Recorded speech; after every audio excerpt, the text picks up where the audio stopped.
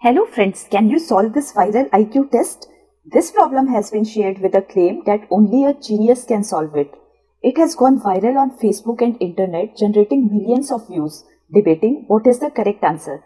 In this video, I am going to present what many people believe to be a correct answer. Can you figure it out? Give it a try and then watch the rest of the video.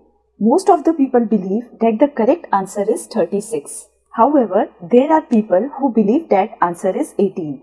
This is found by taking the product of the sum of the digits in each multiplication. So let us do one by one. So 11 multiplied by 11. If we add the digits 1 plus 1 and 1 plus 1 for 11, we get 2 multiplied by 2 that is 4.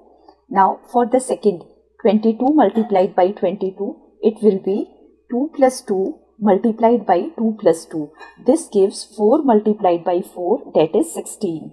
Now for the last product 33 multiplied by 33 it will be 3 plus 3 multiplied by 3 plus 3 which gives 6 multiplied by 6 that is 36. So in this method we found the product of the sum of the digits in each multiplication. So most of the people believe that 36 is the answer. However, there are people who believe that the answer is 18. They believe the procedure to get the answer is sum of the digits in the product. So let us see that method also. Let us now learn why the people believe that 18 is the answer. So let us find the product 11 multiplied by 11. The actual product is 121 and if we add the digits it gives us the answer that is 4. And for 22 multiplied by 22 if we follow the same procedure the product is 484 and if we add the digits the digits will be 4 plus 8 plus 4 and the sum is 16. Similarly, for 33 multiplied by 33, the product is 1089 and if we add the digits, it is 1 plus 0 plus 8 plus 9 and this gives us 18. This is why some people believe that 18 is the correct answer. So we have two methods now and both answers seems valid. In fact, there is a way to justify the answer is 36. Let us now see how.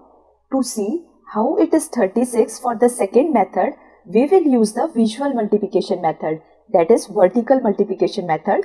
For that we will use vertical lines. Since the number is 11, 1 at ones place and 1 at tens place. So we will use one vertical line for tens place and one for units place. So the first purple line, this represents 1 for tens place and 1 for ones place. Similarly, the blue lines for second 11, this represents tens place and this represents ones place. Now to get the product, we will count the points of intersection. So we have four points of intersection. For units place, we have 1 and tens place, we have 2 and hundreds place, we have 1. So is the product 121. And if we add the digits 1 plus 2 plus 1, we get 4. For the second product that is 22 multiplied by 22, will follow the same method. For tens place, we have 2, so we will use 2 sticks. Similarly, for ones place, we will use 2 sticks.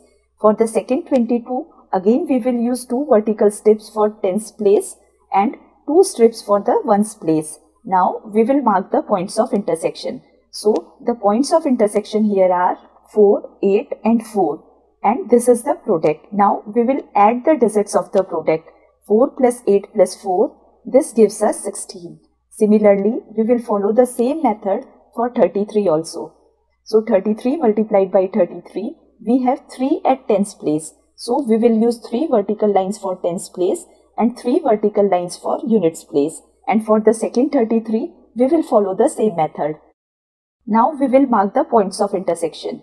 So the points of intersection here are 9, 18 and 9. Now we will add these and get the answer. If we add 9, 18 and 9, we get 36. And this is the same answer that we got in the first method. This would exactly match. Now let us see where the contradiction arises. So we have 11 multiplied by 11 that was 121 and when we added the digits it becomes 1 plus 2 plus 1 that is 4.